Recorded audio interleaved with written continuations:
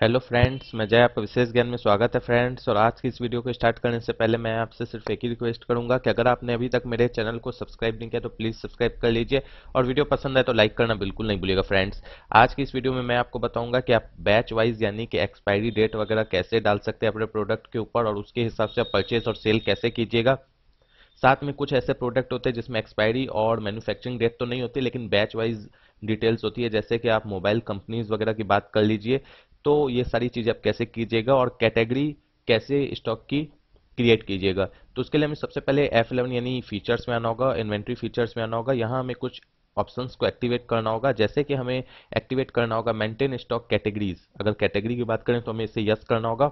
उसके बाद maintain batch wise details इसे यस करना होगा। अगर आपके पास वो प्रोडक्ट है जिसमें एक्सपायरी डेट और मैन्युफैक्चरिंग डेट नहीं है तो उस सिचुएशन में सेट एक्सपायरी डेट और फॉर बैचेज इसे आप नो ही रहने दीजिएगा। लेकिन अगर आपके पास ऐसा कोई प्रोडक्ट है जिसमें बैच वाइज डिटेल्स भी है और साथ में आपको एक्सपायरी डेट और मैन्युफैक्चरिंग डेट भी है तो आप इस दोनों ऑप्शन को यस कीजिएगा।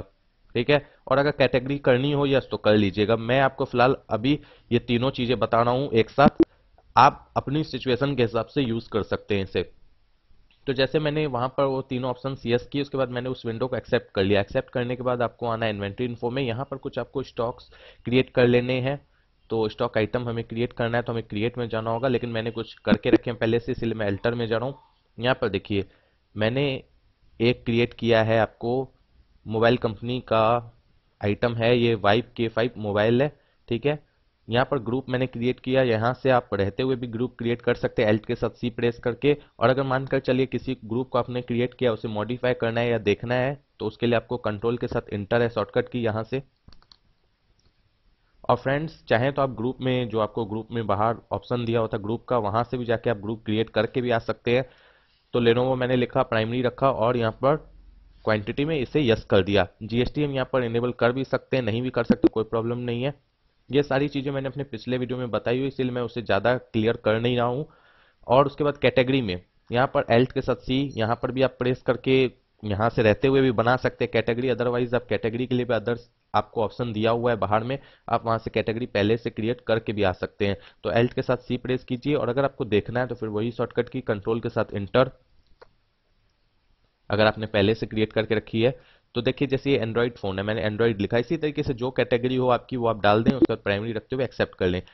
अब देखिए, यहाँ पर आपके पास ऑप्शन आ रहे हैं मेंटेन इन बैचेज अगर सपोज़ कीजिए, आपका जो प्रोडक्ट है, जिस जो भी प्रोडक्ट है, उसमें सिर्फ़ बैच नंबर है तो उसके लिए आपको मेंटेन इन बैचेज को यस करना होगा, इसे यस करना होगा।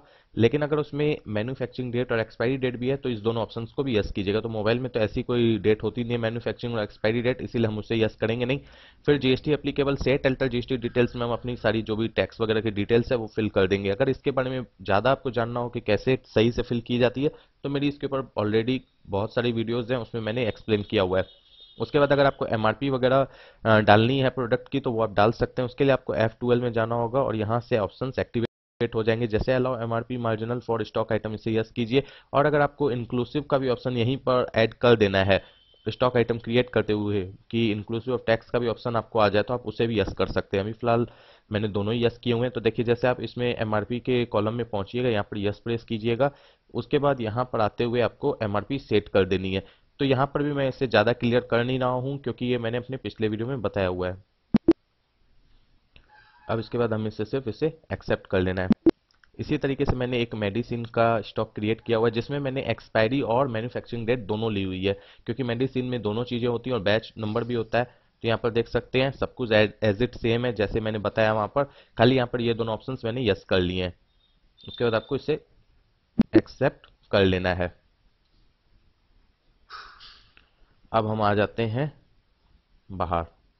मैंने कुछ एंट्रीज पास करके रखे हैं परचेज और सेल की, वो मैं आपको दिखा देता हूँ। जैसे एक देखिए, ये एंट्री मैंने पास की है परचेज की, इसमें मैंने मेडिसिन परचेज किया है। डेट डाल दी सप्लायर इनवॉइस नंबर उसके बाद फिर वापस से डेट डाल दी, जो बिलिंग डेट है, उसके बाद पार्टी का नाम, उसके बाद परचेज लेजर मैंने सेलेक्ट कर लिया। अब मैंने यहाँ पर आइटम सेलेक्ट किया मेडिसिन यहाँ पर देखिए, आपके सामने इस तरीके की विंडो आएगी। गोडाउन पूछा जाएगा, अगर आपने गोडाउन एक्टिवेट करके रखा होगा तो अगर नहीं किया होगा तो नहीं पूछा जाएगा। वो भी आपको एफ़ यानी फीचर्स में जाकर आपको इन्वेंट्री फीचर्स में जाकर यस कर सकते हैं। कैटेगरी के ऊपर ही वाला ऑप्शन होता है गोडाउन का। उसके बाद गोडाउन क्रिएट कर लीजिएगा तो आएगा अदरवाइज़ नहीं आएगा। यहाँ पर आप जब आइएगा तो आपसे न्यू नंबर आएगा। ये तो मैंने क्रिएट करके रखा है न्यू नंबर आएगा, यहाँ पर आपको टाइप करना है।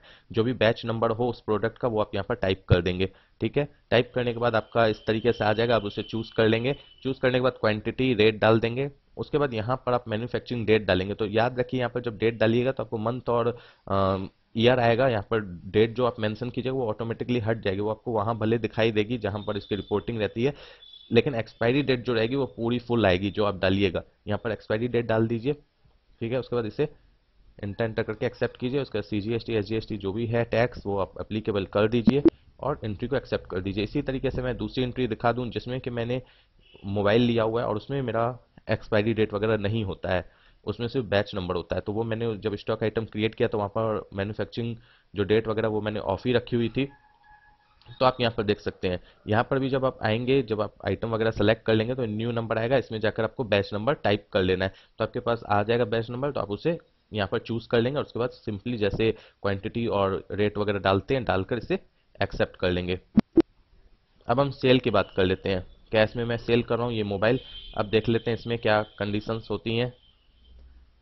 यहाँ पर आप आएँगे तो आपके पास यहाँ पर देख सकते हैं बैच नंबर जितने भी बैच नंबर आपने क्रिएट किए होंगे परचेज के टाइम वो सब आ जाएँगे। तो जिस बैच नंबर के आप मोबाइल सेल कर रहे होंगे, वो यहाँ पर आप चूज़ कर लेंगे। तो अभी फ़िलहाल मैंने एक ही क्रिएट किया था तो मैं एक ही चूज़ कर रहा हूँ।